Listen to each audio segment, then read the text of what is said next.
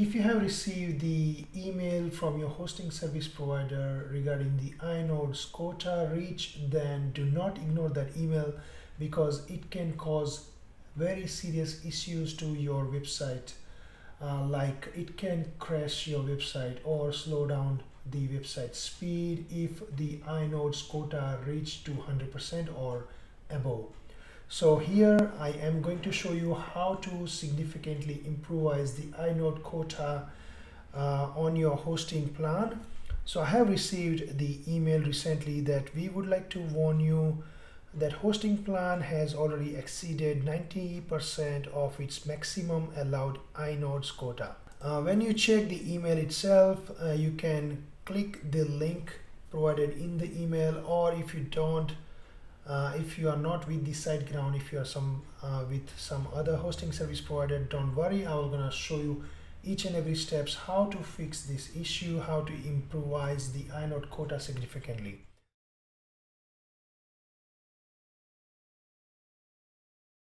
Let me click and see what happens. Here my SiteGround account suggests me the steps how to improvise the quota. There are a number of steps they have mentioned uh, the first step is remove the old backups. So on your WordPress hosting if you're using the third-party backups then simply uh, remove them. Second is delete inactive plugins. So if I go to under plugin page in my WordPress panel you can see I have about seven inactive plugins. If I'm not using any of those plugins then I should delete them and this will help um, my hosting plan to improve or get rid of the unnecessary inodes. Now the third step is remove unused image sizes. So here SiteGround suggests the plugin called Regenerate Thumbnails. Um, I use two different plugins which I'm gonna show you now. Uh, first is the Regenerate Thumbnails and second is Media Cleanup. So when you go to add new under the plugin section, here you can search for regenerate thumbnail. The first option simply install now and then activate that plugin. Once you activate that plugin, go to tools and under here you will find regenerate thumbnail.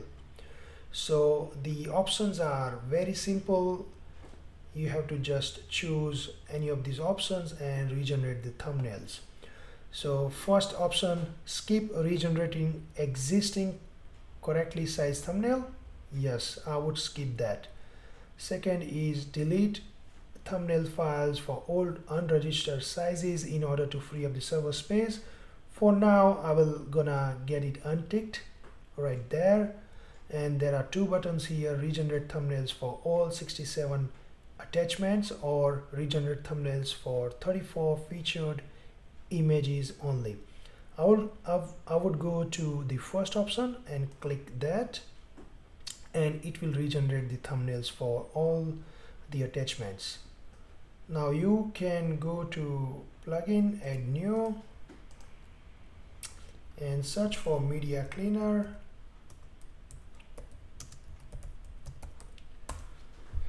And you will find the option called media cleaner clean and optimize space from Jordy Meow simply install and activate the plugin.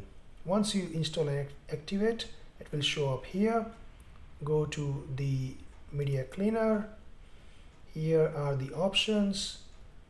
Make sure it's ticked. Image only. Make sure it's enabled. Attach images consider as in use. Make sure this one also is ticked. Then go to advanced everything looks all right. So go to access media cleaner dashboard and here you just need to allow it to scan. So it may not take too long unless you have thousands and thousands of photos or images and simply delete all. So if you are emotionally attached to particular images like these logos then you can just skip those ones. What you have to do is simply select all okay? And then deselect the ones you don't want to delete okay? And then manually delete six entries. And then again select all. Oh my bad. And delete rest of the six entries this one as well. Or you can do something like this which is select this one ignore one entry and everything else will be deleted.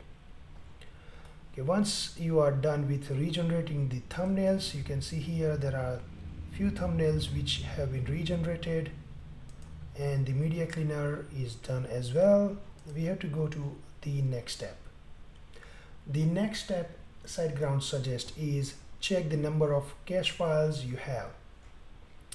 So if you are using SiteGround then they have their own optimizer plugin which call SG Optimizer. You simply go to plugins and download the SG Optimizer. So go to add new. You can skip if you already know SG Optimizer from SiteGround. You will find the first option from SiteGround. Simply install now and activate and then go to SG Optimizer dashboard. And here you can simply check whether the caching is working fine. Here it says caching is disabled. Go to dynamic caching. I can see dynamic caching is off. Memcache is off. This is my choice because uh, with my theme dynamic caching option is causing some issues on the theme so you have to be careful when you are using dynamic caching. Automatic automatic purge this option only works when you have dynamic caching option active so I will leave it inactive.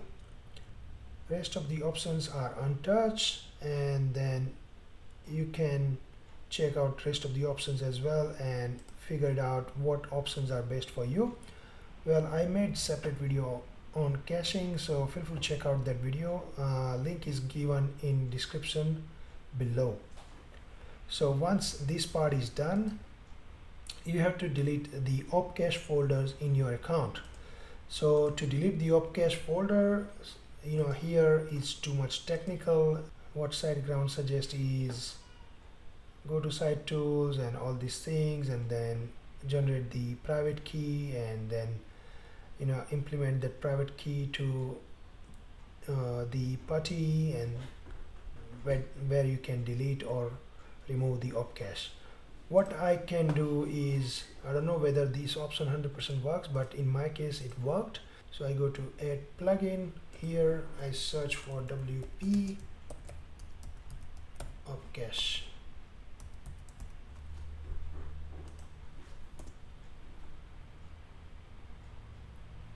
and you will find the first option called WP Opcache plugin from Nodes just simply install now and then activate.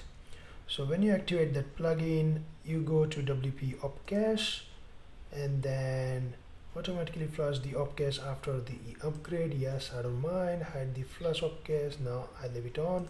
Save changes. Go to statistics. Check out the statistics the cache files you can have a look at it and then simply flush the PHP opcache make sure you have the backup available so in case if it cause any issues um, you can restore the backup. In 99.9% cases it will not cause any kind of issue so you don't have to worry about. Simply flush the opcache and done. Let's see what's next. So the next step says clean up your email accounts. Uh, you can simply go to your uh, hosting service provider if you're using the email services from the hosting and make sure you delete the unnecessary email accounts you are not currently using. Now one more thing is under my website hosting if I go I can show you here. So if you are using the SiteGround then go to services option and then under the services go to hosting and then statistics. Under the statistics it will show up how much is being used how much is free. You can see my inodes are up to the 90% reach. So it's not acceptable because sooner or later it will reach to 100% and it will start causing issues. So what else you can do after the above steps I have mentioned you know uh, what you can do is simply go to your website hosting service provider go to websites and then wait wait wait. Choose your website which is taking too much inodes quota. And then go to file manager of the website select the show folder size and inodes option and here you can work out what are the unnecessary folders here which requires to be deleted. You can delete unnecessary ones but make sure you have the backup ready. Also in my case because I was taking too many backups and restoring by saving the backups I was you know unnecessarily creating too many inodes here. If you see the restores folder I have like 222,347 inodes unnecessarily stored just into the restore backup files. So that was the first option suggested by the SiteGround that make sure you remove the this is the first option make sure you remove the old backups. So this is the thing because I am using the SiteGround's backup service. I can delete the unnecessary files or folders which is stored or created in the restore folder. So simply go. Maybe I can leave it. So simply select that and make sure you have the backup ready. Simply select that and delete action can be undone please make sure you wish to proceed. Yes. And after you delete the unnecessary folder from the restore folder uh, make sure you check out your website whether it's functioning correctly or not. Once the website is functioning correctly then you can just enjoy relax and don't have to worry about anything else. Let me refresh here and see how much I have freed up in inodes quota. So the inodes quota is still not updated.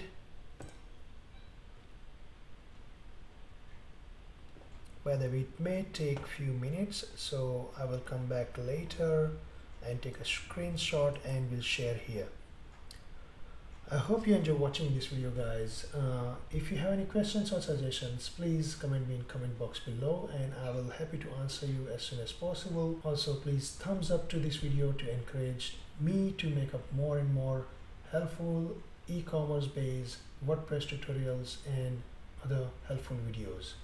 Thanks for watching. See you next time. Bye bye.